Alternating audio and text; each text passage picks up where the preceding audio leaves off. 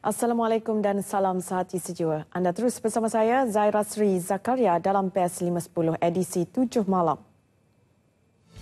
Insiden pesawat Rusia yang ditembak jatuh Turki kerana memasuki ruang udara negara itu meningkatkan ketegangan antara dua negara itu. Menyifatkannya satu provokasi. Presiden Rusia Vladimir Putin memberi amaran yang Turki akan menerima padah berikutan tindakan tersebut.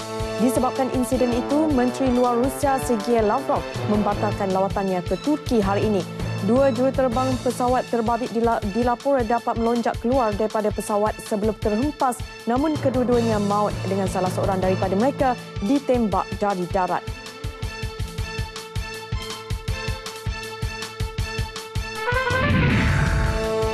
Polis Diraja Malaysia PDRM telah mengenal pasti anggotanya di Sabah sebagai individu yang memviralkan kehadiran kumpulan Abu Sayyaf di Kuala Lumpur dan Sabah. Jelas Pengarah Jabatan Keselamatan Dalam Negeri dan Ketenteraman Awam PDRM, Datuk Muhammad Fuad Abu Zarim, anggota pangkat rendah itu akan dipanggil memberi keterangan bagi membantu siasatan. Sebelum ini tersebar maklumat kononnya terdapat 8 anggota Abu Sayyaf yang menceroboh Kuala Lumpur dengan 10 lagi di Sabah semasa berlangsungnya sidang kemuncak ASEAN ke-27 minggu lalu.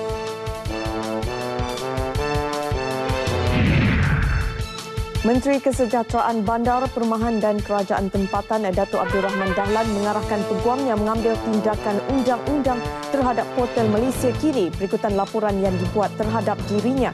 Tindakan itu diambil untuk membersihkan nama baiknya yang telah tercemar ekoran laporan yang didakwa tidak beretika oleh portal dalam talian itu. Datuk Abdul Rahman merujuk beberapa laporan Malik Malaysia kini berhubung sidang medianya yang dibuat 3 November lalu yang menyentuh isu kenaikan kadar tol dan juga migrasi penduduk dari bandar ke luar bandar.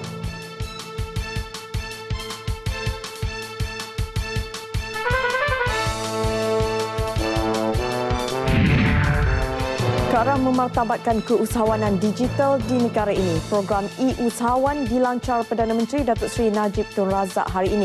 Inisiatif di bawah Perbadanan Pembangunan Multimedia MDEC itu bertujuan memberi pendedahan penggunaan teknologi digital kepada golongan belia dan usahawan mikro tempatan. Laksana berasaskan prinsip strategi lautan biru, ia membabitkan penerapan ilmu keusahawanan digital ke dalam kurikulum institusi pendidikan teknikal dan latihan vokasional Sejak Julai lalu, projek perintis itu telah melatih, melatih hampir 2,400 pelajar dan lebih 400 pencara di 147 kampus seluruh negara.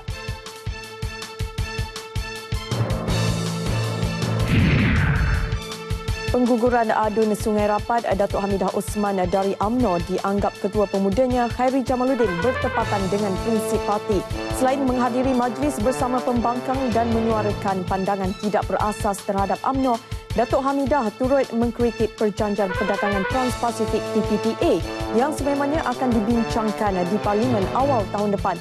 Hari Jamaluddin menyuarakannya di Ibu Negara selepas merasmikan persidangan Majlis Perundangan Belia.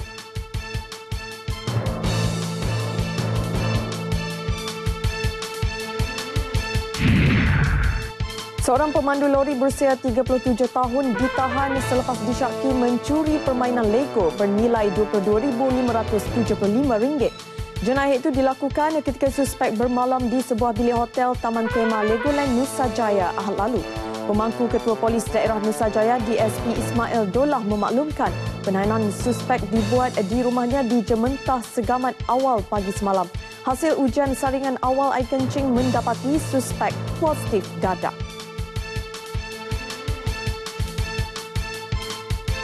Baik saudara, sekian paparan BEST 510 edisi 7 malam. Untuk lebih banyak paparan, ikuti Nasional 8 bersama Ivan Toh dan Nora Syikin Abdul Rahman. Dengan itu, Assalamualaikum dan salam sehati sejiwa.